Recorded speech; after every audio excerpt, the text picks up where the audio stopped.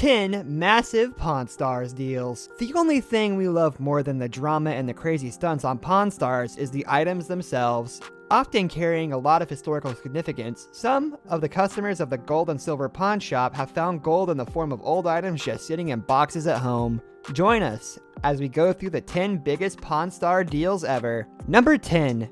Dutch East India Trading Company bell. This customer came into the shop with a historic bell from a ship of the Dutch East India Trading Company. Not knowing its value, she had even thought of just selling it for a few bucks in a yard sale. Luckily for her, she decided to hold on to it just in case. While Old Man originally thought it was a fake since it showed very little wear for a supposedly 400 year old bell, an expert confirmed its authenticity, valuing it at a minimum of $15,000. After hearing the price, the customer immediately agreed to a deal. Number 9. Spanish Fleet Gold Coin. In 1715, disaster struck a Spanish fleet that was traversing the Atlantic Ocean.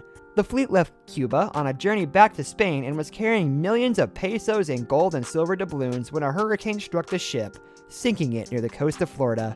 A customer named Jody had inherited the coin from his family and was hoping to score 2000 for it. Again, the old man was skeptical, but experts confirmed it to be an authentic 8 escudos coin that was worth $18,000. When he was told its value, the customer happily walked away with $11,000 in his pocket. Number 8. Edward Curtis Photographer The biggest return the Harrisons had in their shop came before the show even aired. Back in the 90s, a woman approached the store with four photogravures, which are photos that are etched into pieces of metal. The old man didn't know anything about photogravures and paid $50 for them because he figured why not since they look cool. To his surprise, they were extremely valuable and the shop sold them for $20,000. Number 7.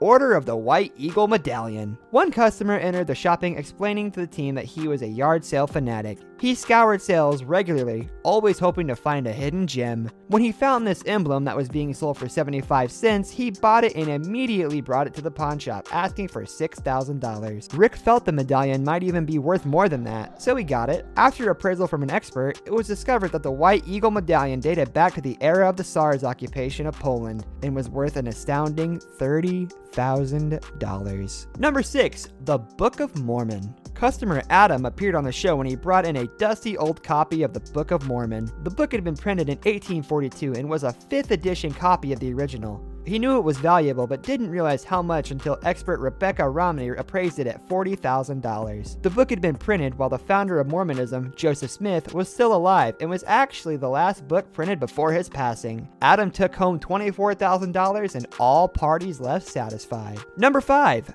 1554 Spanish Gold Bar. It's the dream we've all had at one point. A Pawn Star customer was cleaning out the belongings of his recently deceased grandfather when he came upon a thin gold bar stashed away in a nondescript box with no explanation. He took it to Pawn Stars, only finding out that the raw gold value was worth 24000 which is an excellent deal. He was about to take it, but he decided to hold off until it was appraised by an expert. The news came back that the bar was actually 500 years old, being a part of the Spanish shipwreck off Padre Island in Texas increasing its value to nearly $50,000. Number 4. 2001 Patriots Super Bowl ring. Former Patriots defensive back Brock Williams had hit a rough patch following his peak in the 2001 Super Bowl. Williams' career was cut dramatically short after he faced injury after injury. This put him in a tight financial spot and he decided to pawn off the ring for $2,600. He had 120 days to reclaim it by paying off the loan, but he never did. Today, the gold and silver pawn shop lists it for sale at a staggering 100 $100,000. But that's mainly because they don't want to let it go just yet. It's really valued at around $30,000. Number 3. Suitcase full of silver. Rick and the old man were astonished when they saw a customer haul in a suitcase filled with silver. He had been keeping stashed away in a storage unit for nearly a decade. They had never dealt with so much silver at once. After weighing everything inside the briefcase, they discovered it came out to a grand total of 3,300 ounces.